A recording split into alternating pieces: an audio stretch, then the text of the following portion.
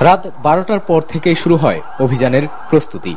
অভিযানের প্রয়োজনীয় রসদ নিয়ে শাপলা চত্বরমুখী রাস্তায় অবস্থান নেয় বিজিবি, র্যাব, পুলিশ সহ বিপুল সংখ্যক আইন শৃঙ্খলা রক্ষাকারী বাহিনীর সদস্য। রাত আড়াইটা শুরু হয় অভিযান।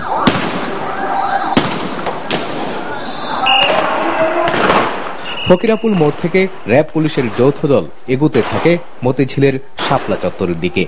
সাউন্ড গ্রেনেড, ফাঁকা গুলি, রাবার বুলেটে প্রকম্পিত হতে থাকে গোটা এলাকা। অন্যদিকে পুরানা পল্টন থেকে একইভাবে এগিয়ে যায় আইন শৃঙ্খলা রক্ষাকারী বাহিনীর সদস্যরা। আতঙ্ক ছড়িয়ে পড়ে চারপাশে।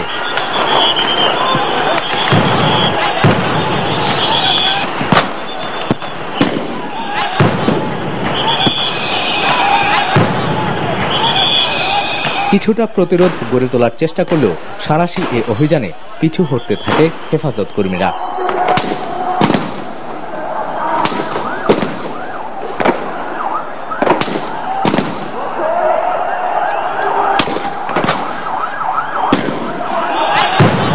হেফাজত কর্মীদের ব্যারিকেড ভেঙে দিয়ে এগিয়ে চলে অভিযান। রাত পৌনে তিনটা। পনেরো মিনিটের মধ্যেই দুপাশ থেকে শাপলা চত্বরের সমাবেশের কাছে পৌঁছে যায় আইন শৃঙ্খলা রক্ষাকারী বাহিনীর সদস্যরা।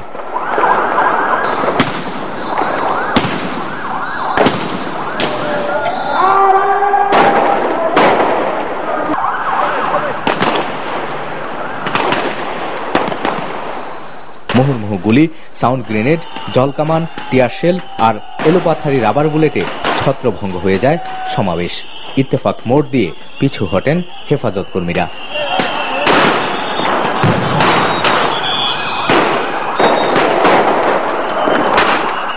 শাপলা চত্বরে হেফাজত কর্মীদের সমাবেশকে ছত্রভঙ্গ করতে রাত আড়াইটায় যে অভিযান শুরু হয়েছিল আইন শৃঙ্খলা রক্ষাকারী বাহিনীর, সেটি অব্যাহত ছিল রাত চারটার সময়ও এবং মূল রাস্তা থেকে হেফাজত কর্মীদেরকে সরাতে পারলেও রাস্তার বিভিন্ন অলিগলিতে তারা আশ্রয় নেয় এবং সেখান থেকে প্রতিরোধ গড়ে তোলার চেষ্টা করে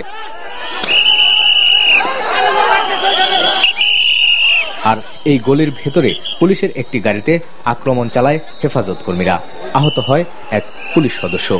এ অভিযানে আহত হয়েছেন শতাধিক হেফাজত কর্মী।